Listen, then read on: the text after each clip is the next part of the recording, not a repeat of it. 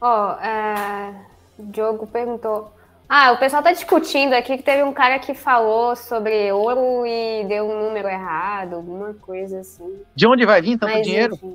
Se, é. se, por exemplo, se o Bitcoin Bond existir, se o Bitcoin Bond existir, já vai começar a sugar o dinheiro dos títulos públicos, né? Isso que é um mercado maior do que o das ações. Quanto, quanto é que existe no mundo de, de título público? Se, se um país, se um país lançar um título público que metade do dinheiro está na mão de um scroll lastreado em Bitcoin. E no ano que o Bitcoin sobe, o cara não paga nenhum, nenhum bônus. E o cara, ele, por causa disso, começar a captar o dinheiro por um quarto ou um quinto do dinheiro que ele captaria fora dali. Vários países não vão fazer igual. Você acha que a Argentina, que esses países todos aí não querem mandar o FMI tomar na bunda? Mandar o caralho, o sistema convencional e captar muito mais barato? A questão é que adotar o Bitcoin é vender liberdade por dinheiro. Os países são insustentáveis.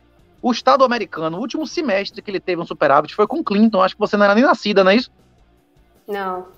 Pois é. O, o, governo americano não tem nenhum mês de superávit. Eles vão precisar vender algumas alforrias.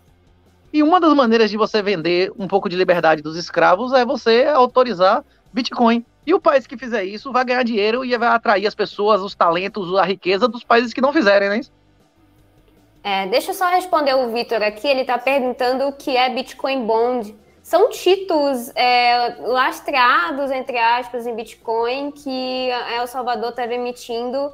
Pra... Ele prometeu emitir. Só que, aí o governo emitir. americano, a FMI ameaçou o cara. Ele está sofrendo uma pressão gigantesca lá, né? E aí tá, tá postergando, tá postergando, que não existe ambiente, não tem ambiente. O problema é que depois que o, Bit, que o passou a lei do Bitcoin, os títulos no mercado internacional do El Salvador despencaram. Ele hoje em dia ninguém mais empresta, ele está fora do sistema internacional. E ele tem bônus para vencer no início do ano que vem. Então ele vai ter que levantar dólar. Se ele não levantar dólar, ele vai dar default. As três alternativas hoje de El Salvador é lançar esse, esse título, dar calote na dívida internacional dele, se fuder, porque inclusive a moeda deles não é soberana, é o dólar. Ou a terceira alternativa, que é ficar de quatro para FMI e dar para trás na lei do Bitcoin. É, mas qual você acha que é, que é o mais provável dele fazer? Acho que é emitir, né? O bom de ficar na dívida. Não eu não sei. Eu não sei. Eu não sei que tipo de pressão, de ameaça esse cara tá sofrendo. Mas se ele não fizer, outro país vai fazer. Vai aparecer algum, alguém com culhão aí, meter bronca. O Samsomol tá dedicando a vida a isso, inclusive a, apresentar isso para vários governos e tal. É. E demonstrar para os caras que, tipo assim, o, pro, cara, pro emissor do título, o risco é zero.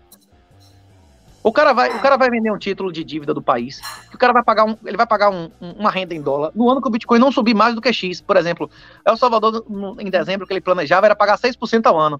No ano que o Bitcoin não subisse mais do que 12%.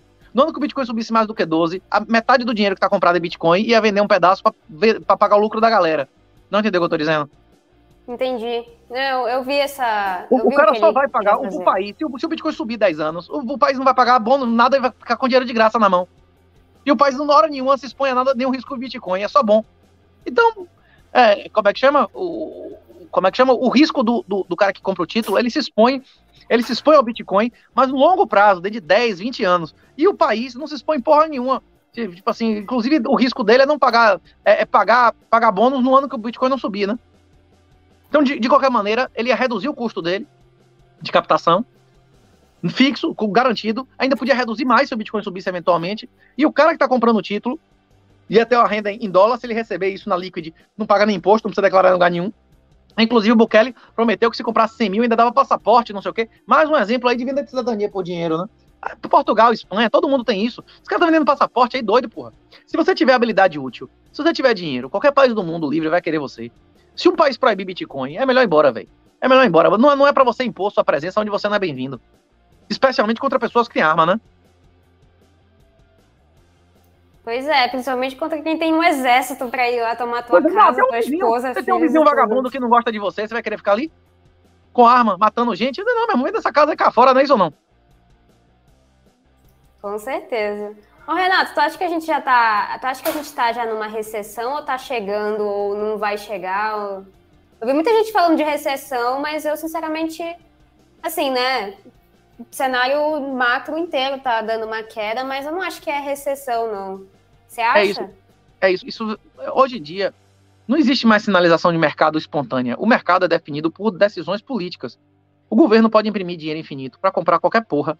E ele pode, como ele tem em estoque a títulos, ações, a porra toda, começar a vender o que ele quiser a qualquer preço. Hoje, quem define o valor das ações, a atividade das empresas, quem define o valor do dinheiro, que acaba, consequentemente, definindo o nível de atividade econômica, que atividades são viáveis e quais não são, é uma decisão política, não é uma decisão de mercado. Não existe capitalismo. Hoje nós vivemos um crônico capitalismo, um capitalismo de compadrinho, que os amigos do rei têm a informação primeiro e têm acesso ao dinheiro mais barato, e quem não é amigo do rei, não sabe porra nenhuma, vai levar o ferro e tem que pegar o dinheiro depois e se fode, não é isso? Tal do efeito cantilhão, né? Exatamente. Se, se os caras lá do Fed, mês que vem, arregar, dizer, não, não sei o que, a gente quer popularidade, quer ajudar o Biden na eleição, não vai ter mais aumento esse ano, beleza. As ações vão ao time high, o Bitcoin vai bater 100 mil dólares dentro de dois meses. Se os caras continuarem a vender ativos e a subir juro, a tendência é que essa porra continue a cair. É simples assim. A única maneira do Bitcoin não continuar casado com os mercados é ter uma notícia idiosincrática do Bitcoin. Esse não do Bitcoin Bond é um exemplo de uma das coisas que pode acontecer. Uma outra coisa é um fundo soberano, saudita, seja lá o que for, o pessoal tá vendo que é o saudita, que é o, o long da Finex. Se aparecer que os sauditas compraram centenas de milhares de bitcoins, bomba. Se a Rússia, por exemplo, liberar geral dos, dos, dos, dos cidadãos dele começarem a receber, pagar, não sei o que, bomba. Inclusive, tem várias coisas que podem acontecer que pode explodir o valor do Bitcoin. Agora, idiosincráticos, do próprio ativo. Se não acontecer alguma coisa no mercado próprio do Bitcoin, o Bitcoin vai continuar dependendo do, do, do, do comportamento geral dos mercados. E o comportamento geral dos mercados depende de posição política, do que, que o Fed vai fazer. Os caras podem tabelar preço, porque eles podem imprimir dinheiro infinito e porque eles têm ações, títulos, para inundar o mercado, tabelando o valor do, do, do, do juro. Quando você tabela o valor do juro, você tabela o valor dos ativos. O valuation de imóvel, o valuation de uma ação, de um título é feito pelo desconto, o fluxo de caixa projetado, descontado da taxa de juro. Se você define o valor da taxa de juro, você define o valor dos títulos, dos imóveis, das ações, da porra toda. Se for 0% para você comprar uma casa, você compra uma casa de infinito valor. Você não paga juro nenhum e mora na casa de 10 milhões de, de dólares, não é isso? Se a, a porra for 20%, 30% ao ano, você não vai financiar porra nenhuma, nem uma casa de 50 mil, não é isso? Que em 5 anos você vai pagar três casas, né? Exatamente. Agora mandando aqui. Bom. Cara, eu acho que é isso aí. Você sempre dando muitos insights bacanas. Eu acho que não tenho nada mais assim do que perguntar. Se quiser falar mais alguma coisa, se você acha importante.